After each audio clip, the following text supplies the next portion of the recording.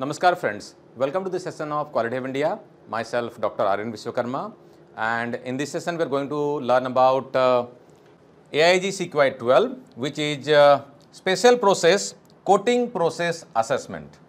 So when we talk about uh, AIAG CQI series of standards, there are lot many standards are there and the standards are primarily for various special processes and there are different standards are available and uh, it's a very exclusive kind of standards which requires uh, assessors uh, qualification It needs to be qualified by the assessor to be eligible for conducting assessment for different kinds of standards. So now let's understand what exactly is the standard that is AIAG CQI series of standards. So when we talk about uh, this series of standards, there are a lot many standards are there. We can see here three pictures of three of the standards. This is CQI 27 which is for special process casting system assessment. So CQI 27 is for casting, CQI 29 is for brazing system assessment, CQI 15 is for welding system assessment. So in this way there are different standards are there. 9 is for heat treatment, 11 is for plating and 12 what we are exploring right now is for coating system assessment. So when we talk about uh, AIAG which stands for Automotive Industry Action Group and uh, there are series of standards. So CQI stands for continuous quality improvement. So the standards aim to promote continuous quality improvement primarily in automotive supply chain because this is primarily applied in automotive supply chain but there are other companies also who are practicing. Since this is applicable, CQI 12 is applicable for coating system assessment. So other uh, companies who are not into the uh, automotive supply chain but still they want to avail the benefit of the standard, they can still implement, they can get assessed also and they can improve their processes and practices.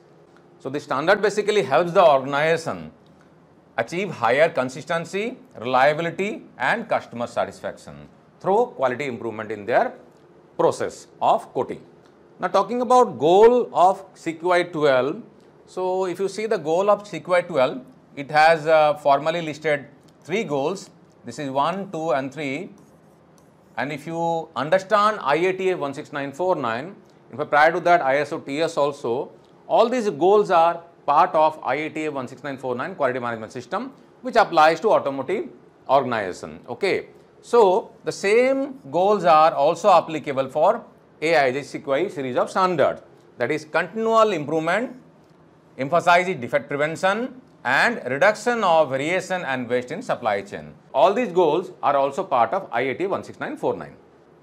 So, talking about these three goals, it talks about continual improvement. So, on a sustainable basis, every processes and practices of the organization should go through some improvement on a recurring basis and it must be sustained. That is what the intention and then defect prevention. The organization shall be working on defect prevention rather than working on a reactive mode. So, prevention is the buzzword over here. The focus is on prevention of defect. Okay. And the third one is reduction of variation. So, indirectly it is talking about uh, Six Sigma. Not directly it is focusing on Six Sigma, but uh, that is what the focus of Six Sigma also. So, reduction of variation and then elimination of waste in the supply chain. This is primarily the goal of uh, lean manufacturing system also. So, indirectly the third goal talks about Six Sigma and lean practices. Okay. So, that is also going to help the organization to improve the process of coating. Now, talking about the application of CQI 12. So, there are lot many tables are there. You can see over here starting from table A to table K. Lot many tables are there. So, depending upon the kind of processes you are carrying in your organization, the assessor would be assessing relevant tables and the content of the table. So, there are different sections are there in the checklist given in the standards and in fact, uh, if you want to purchase original AIAG CQI series of standards, you can contact Quality Hub India. We are also providing original standards at a reasonable price. So, you can see over here table A contains pre-treatment which is aqueous, then uh, B also talks about pre-treatment which is mechanical, so, in this way different different tables are there powder coating, spray coating, electro coat. So, different different tables are there and the standard contains a check sheet, Excel check sheet okay and every table will have detailed contents and there are lot many requirements are there which will be assessed by the assessor. to see if you are complying to all those requirements or not. In fact, if you are looking for any assessment requirement or any training requirement in any CQI series of standard, you can contact us. We provide these services. So, whatever process tables we are looking over here, these are basically talking about uh, uh, process and test equipment requirements, then process monitoring frequencies, which is also prescribed. So, lot many mandatory frequencies are mentioned for monitoring process and process efficiency. Okay. So, in process and final test frequency and test frequencies, all these are mentioned in the different tables. So, section 1 of the standard talks about management responsibility and quality planning. Section 2 of the standard talks about floor and material handling responsibility and all these sections covers lot many questions and uh, lot many requirements which needs to be assessed by the assessor which is given in the checklist. And wherever there are SAL requirement as we know as a part of quality management system, SAL means monetary requirements. Then we have job audit sections also. So, as a part of job audit, the assessor needs to conduct job audit, uh, picking job uh, at relevant area the, uh, for which the process is being applied and covering the entire processes from uh, beginning to the end, all the processes must be covered by the assessor. Minimum one product, you can cover more products also. Now, let us talk about assessor's qualification. So, if you want to become assessor for AIAG CQI 12 that is coating system assessment, there are some mandatory requirement prescribed by the standard. The first requirement talks about quality management system internal auditor qualification. So, you must be a qualified certified internal auditor for quality management system. If you want to conduct audit in automotive industry, then IATF 16949 auditors. Okay. The non-automotive industry, you can go for the relevant standard. For example, ISO 9001 which is a general quality management system standard.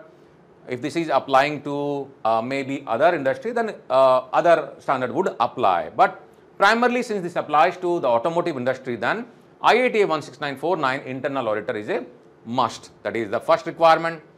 Second requirement is assessor shall possess coating knowledge.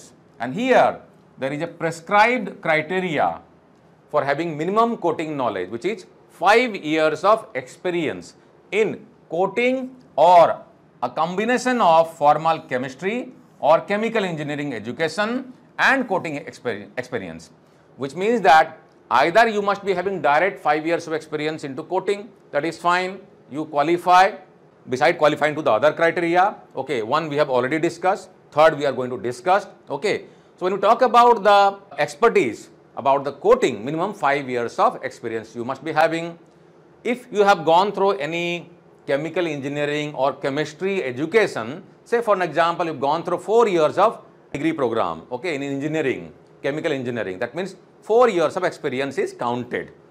Afterwards, if you are having one or two years of experience working in industry, then you are, you are complying to the requirement of minimum five years. So, this is how in totality minimum five years of experience the person must be having who want to become eligible for conducting audit okay, or assessment. The third one is, this is very critical, assessor shall possess knowledge of automotive core tools, quality core tool. This is also a must because in lot many sections, lot many requirements are there which is prescribed pertaining to APQP, pertaining to SPC, pertaining to FMEA, control plan, okay. So, if the assessor does not understand all these standards or the manuals or the guidelines or the requirements, then he would not be able to conduct audit okay, or assessment. Fine. So, 6 core tool we all know what are the 6 core tool APQP third edition the latest version control plan first edition PPAP fourth edition MSA fourth edition SPC second edition and FMEA AIAG VDA first edition okay published in 1st of June 2019 and this uh, this one and this one got published in 1st of March 2024 okay so, a familiarity and a formal training program that would be also good okay, on 6 core tool. So, these are the three requirements to become an assessor.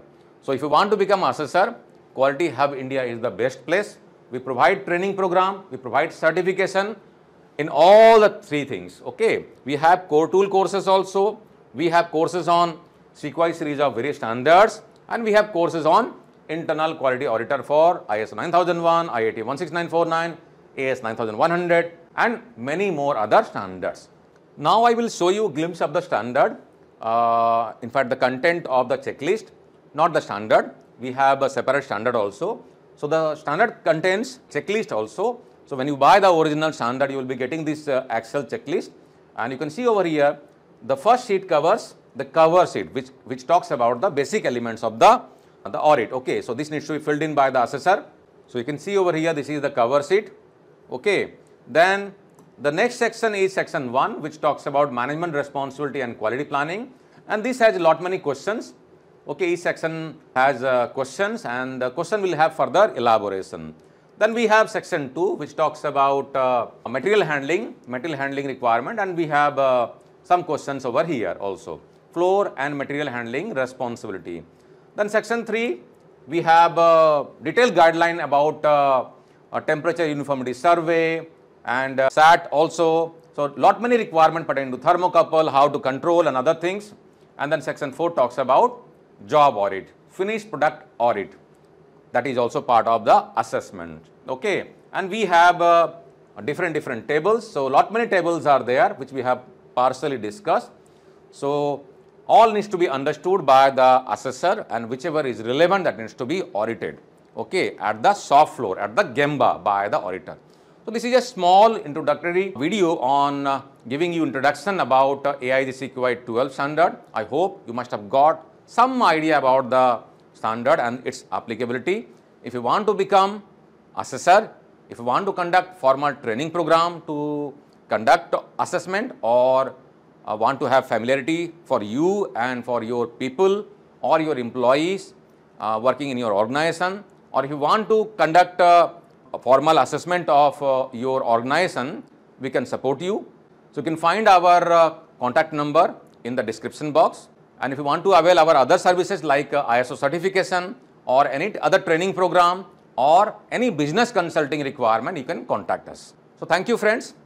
Bye for now. See you next video. Jai Hind.